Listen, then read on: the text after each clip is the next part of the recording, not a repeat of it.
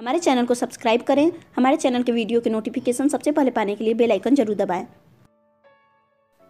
Hello दोस्तों, हमारे channel में आपका स्वागत है। अगर आप हमारे चैनल पर पहली बार आए हैं तो हमारे चैनल को सब्सक्राइब कर लें और बेल आइकन ज़रूर दबा लें, जिससे हमारे वीडियो के सारे नोटिफिकेशन आप तक पहुँचते रहें। तो दोस्तों, आज मैं बात करूँगी एन में आने वाले कुछ महत्वपूर्ण प्रश्नों के बारे में, जिसमें हमारा पहला प्रश्न है, ग्रामीण समुदाय में इनकाइलोस्टोमियासिस नामक रोग से बचने के लिए नागरिक को नागरिक को क्या करना चाहिए? तो इसमें हमारा पहला ऑप्शन है, रोगी पृथककरण आइसोलेशन करना चाहिए।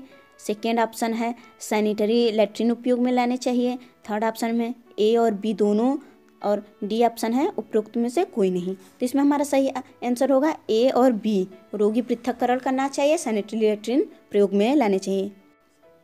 हमारा नेक्स्ट क्वेश्चन है, जीवित टीके लाइव वैक्सीन का उदाहरण समझा जाता है। इसमें हमारा ऑप्शन ए है टाइफाइड वैक्सीन ऑप्शन बी है oral polio vaccine, option C है डीटी वैक्सीन, ऑप्शन डी है हेपेटाइटिस बी। तो इसमें हमारा सही आंसर होगा option B, oral polio vaccine. हमारा नेक्स्ट क्वेश्चन है, सबसे सस्ता विटामिन ए का स्रोत होता है। इसमें हमारा ऑप्शन है ए, मछली, सेकेंड ऑप्शन है मांस, थर्ड ऑप्शन है हरी पत्तेदार सब्ज़ियाँ, एंड फोर्थ ऑप्शन है उपयुक्त सभी। तो इसमें हमारा सही आंसर होगा हरे पत्तेदार सब, सब्ज़ियाँ। सबसे सस्ता विटामिन ए का स्रोत हरे पत्तेदार सब्ज़ियाँ। हमारा नेक्स्ट क्वेश्चन है, किसी परिवार की प्राथमिक आवश्यकताएँ बेसिक नीड्स कहलाती हैं। इसमें हमारा ऑप्शन है भौतिक आवश्यकताएँ सेकेंड जैविक आवश्यकताएँ थर्ड ऑप्शन है मनोवैज्ञानिक आवश्यकताएँ एंड फोर्थ ऑप्शन है उपरोक्त सभी। तो इसमें हमारा सही ऑप्शन होगा? सही आंसर होगा ऑप्शन डी उपरोक्त सभी। Physical needs biological needs and physiological needs हमारा नेक्स्ट क्वेश्चन है, बच्चों में अतिसार डायरिया रोग की रोकथाम के लिए आवश्यक है। इसमें हमारा ऑप्शन है, स्वास्थ्य शिक्षा उचित चिकित्सा, ए और बी दोनों उपरोक्त में से कोई नहीं। तो इसमें हमारा सही आंसर होगा ऑप्शन सी ए और बी दोनों। स्वास्थ्य शिक्षा और उचित चिकित्सा दोनों। हमारा नेक्स्ट क्वेश्चन है, कच्छ रूम में उचित संवातन प्रॉपर वेंटिलेशन के अभाव में होने वाला संभावित रोग है।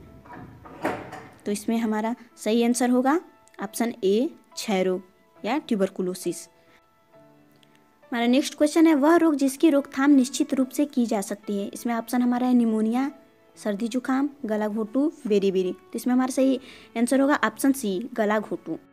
हमारा नेक्स्ट क्वेश्चन है, पर्याप्त संतुलित आहार को निर्धारित करते समय ध्यान रखना चाहिए।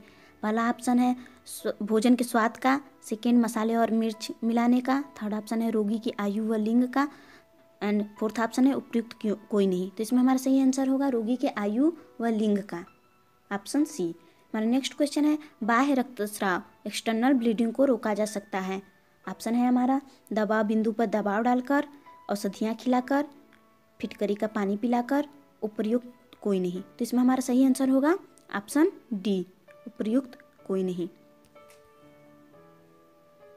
हमारा नेक्स्ट क्वेश्चन है, हड्डी टूटने पर सहारे के लिए थॉमस स्प्लिंट लगाया जाता है। इसमें हमारा ऑप्शन है, पूरी टांग में, पूरी भुजा में, पूरे सिर में, पूरे धड़ में। तो इसमें हमारा सही आंसर होगा, पूरी टांग में। हमारा नेक्स्ट क्वेश्चन है वह पदार्थ जो हरी पत्तेदार सब्जियों में नहीं पाया जाता है। इसमें हमारा ऑप्शन है लौह आयोडीन कैल्शियम प्रोटीन तो इसमें हमारा सही आंसर होगा प्रोटीन हमारा नेक्स्ट क्वेश्चन है, टीकाकरण इम्यूनाइजेशन करके हम बच्चों में होने से नहीं रुक सकते हैं। ट्यूबरकुलोसिस डिप्थीरिया टेटनस या जॉइंटिस तो इसमें हमारा सही ऑप्शन होगा ऑप्शन सही आंसर होगा ऑप्शन डी कामला या जॉइंटिस हमारा नेक्स्ट क्वेश्चन है मल निस्राव शब्द का तात्पर्य है। इसमें हमारा ऑप्शन है वर्षा का जल, वाहित मल जल, ए और बी दोनों उपयुक्त में से कोई नहीं। तो इसमें हमारा सही आंसर होगा, उपयुक्त में से कोई नहीं।